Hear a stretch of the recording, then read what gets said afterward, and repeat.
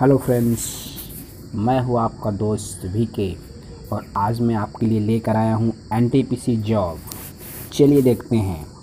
तो ऐसे उम्मीदवार जिन्होंने इलेक्ट्रिशियन फीटर स्क्रेट्रियन असिस्टेंट और कारपेंटर जैसे ट्रेड्स में आईटीआई किया है, उनको या उनके लिए अप्रेंटिस करने का एक सुनहरा अवसर भारत सरकार द्वारा दिया जा रहा है।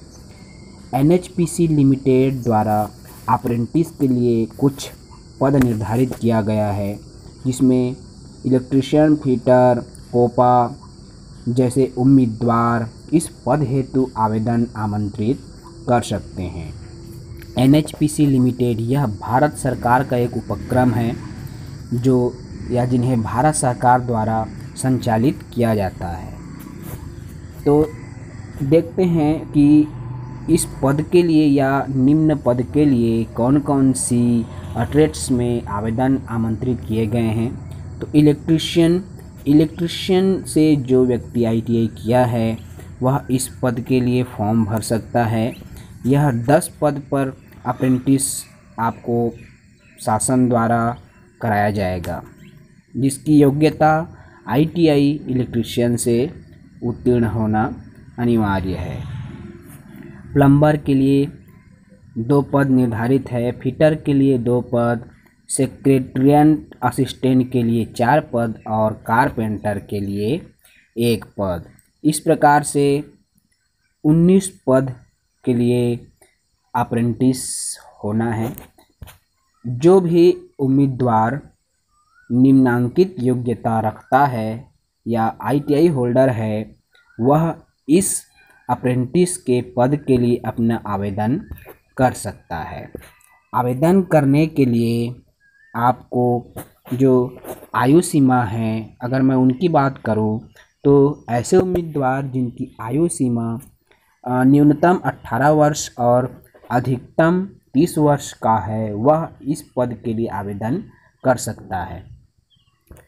ऐसे उम्मीदवार जो S T S C O B C के अंतर्गत आता है, उनके लिए आयु सीमा में शासन द्वारा छूट प्रदान किया गया है। एस टी और एस सी का जो वर्ग के उम्मीदवार है, उनके लिए पाँच वर्ष की छूट दिया गया है और ओ बी सी वर्ग के लिए तीन वर्ष की छूट का प्रावधान किया गया है। और ऐसे कैंडिडेट जो पी डब्ल्यू डी के अंतर्गत आता है उनके लिए दस वर्ष की छूट का प्रावधान निर्धारित किया गया है।